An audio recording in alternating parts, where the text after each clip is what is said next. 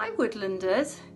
We had literally just finished this morning talking about whether or not you'd be interested to see what we do on our yards with our horses when lo and behold my horse came in from the field to be ridden and he's got a nasty scrape on his leg. So what I thought I'd do is let you have a look at the process that I'm going to undertake just checking it out and making sure he's okay and we'll meet out on the yard.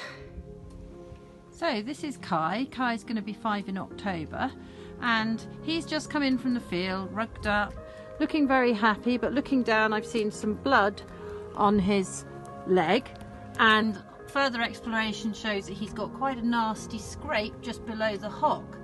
So what I've done, I've taken the rug off and I've had a really good look elsewhere and I've also found that he's got quite a nasty deep wound over his stifle. So what I've noticed bringing him in is that he's not particularly lame so I'm not panicking and he's not bleeding particularly badly. So we're next going to go to the stage of cleaning up the wound and assessing it. If it was bleeding really, really badly, what I would do is get a clean pad, something clean, cotton, dressing, Gamgee, and I would put pressure straight over the wound and just keep it there tight, even bandaging over the top if needs be and putting another pad on the top. But this is okay, this is not bleeding badly. So here's one of my favourite items of the first aid kit, my trusty hose pipe, and for about 15 minutes I'm just going to gently trickle this down from above the wound, which will just help irrigate and wash out any bits and pieces that might be there, and will also, because it's cold, just slow down the blood supply. What we don't do is stick our finger over the end of the hose, however tempting, and jet wash the wound out, because what that could do is to drive any dirt further into the wound, which would increase the chance of infection. You'll notice I've tied Kai's tail up um, and if the horse is being a fidget, either a hay net tied up for them to munch away at or have someone at the shoulder just making sure that they're using whatever means of bribery to actually distract the horse from what you're doing. So what I've what I've done here now is to just gather together the things that I think I might need.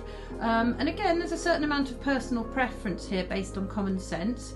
I have got a selection of some Gamgee, some of which I have pre-cut here. This is also very good for putting straight over wounds that are bleeding badly. I have some sterile hydrogel, which um, I get from my vet and produces the correct environment for wound healing. I have bandages, I have a sterile non-stick dressing, and I also actually my preference and what I like is a cotton wool roll to actually create some padding underneath the bandage. The other thing I could have done and did do with the stifle wound was to use some swabs with saline solution just to clean the wound a little bit more. Not a great fan of cotton wool because what it can do is to leave fibres in the wound. I've put my hydrogel onto the dressing and I'm now going to put this onto Kai's leg. Um, at this point, I'd really like you guys to be wearing your PPE because you can see that Kai, like any horse with a wound, is just saying, oh, my leg, it really, really stings. So it's so important that you keep yourself safe and you watch his body language. So I'm now putting um, my padding over the top of the dressing and that will go underneath the stable bandage which I'm going to apply. You'll see that um, we've got a bandage on the other leg just to offer some support. We always bandage in pairs, smoothing it down, making sure there are no lumps or bumps, and just putting on a small amount of duct tape over the Velcro fastenings just as an extra sort of safety measure um, so that the bandages don't become undone at any point in time.